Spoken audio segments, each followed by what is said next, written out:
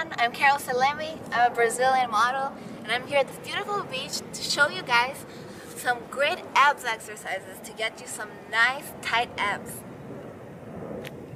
So the first one's a leg crisscross. So just lay on your back, keep your lower back flat and crisscross your legs.